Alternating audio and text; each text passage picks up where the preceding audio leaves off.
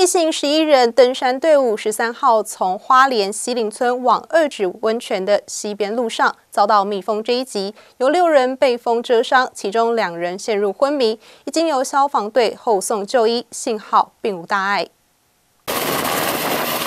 一行十一人登山队五十三日由花莲西林村往二指山温泉西边路上遭到蜜蜂追袭，共有六人被蜜蜂蛰咬。接获民众报案之后，花莲县消防局派员前往救援。上午十点五十八分啊，接获民众报案，有一行十一人上山去爬大块山，他们的行程是十六号、十三号到十六号，预计四天。